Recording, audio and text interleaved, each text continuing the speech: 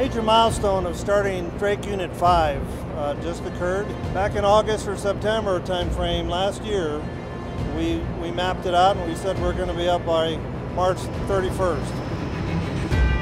We were able to return that unit on March 10th of this year, 2015, and uh, that was three weeks ahead of schedule of what we were scheduled for.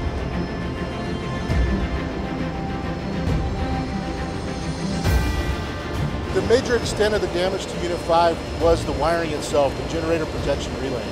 There was also damage to the front standard of the turbine where the fire actually began, and a lot of that had to be completely torn apart and reconditioned. We did lose all the controls and the uh, instrumentation uh, and some of the steam piping as well, but as a whole, the turbine and generator were, were not affected by the fire mechanically. Right now we're inside the electrical building for unit number 5. As you can see in here, you can see all the wire terminations that had to be brought in to all the new equipment to be able to generate power out of this unit once again.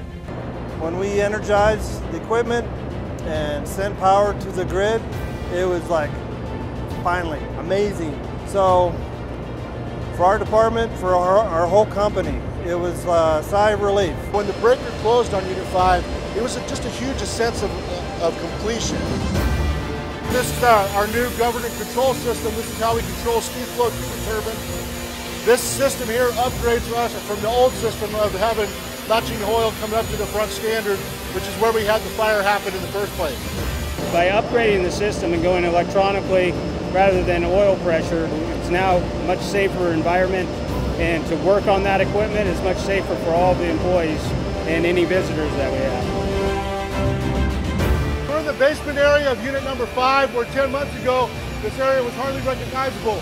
The other repair damage was the small bore piping. There was 10,000 feet of piping that had to be replaced for that. There was 10,000 feet of stainless steel tubing that ran our instrument air lines to control devices. You're able to see a lot of the small bore piping and all the insulation that had to be redone, all the stainless steel tubing, all the transmitter panels, Another part of the overhaul that had to be done to the structure was all replacing of the, the roof members. We had about 80 foot of roof that had to be uh, re-tiered. So we also had a great deal of work done to the turbine wall. There's a two-hour firewall here that keeps the, that separates the office area of the plant from the main plant itself. We had about 20,000 man hours spent on Unit 5 alone of our own employees. And the fact of seeing work groups come together and do jobs that they're not normally done, doing together that's just amazing. We all know that we play a, a large role in, in Colorado Springs utilities uh, keeping rates low. So it's uh, really based on the customer and doing everything that we can to be producing affordable and uh, reliable power. 254 megawatts at this site now is available to provide low-cost energy to our ratepayer in an environmentally responsible manner.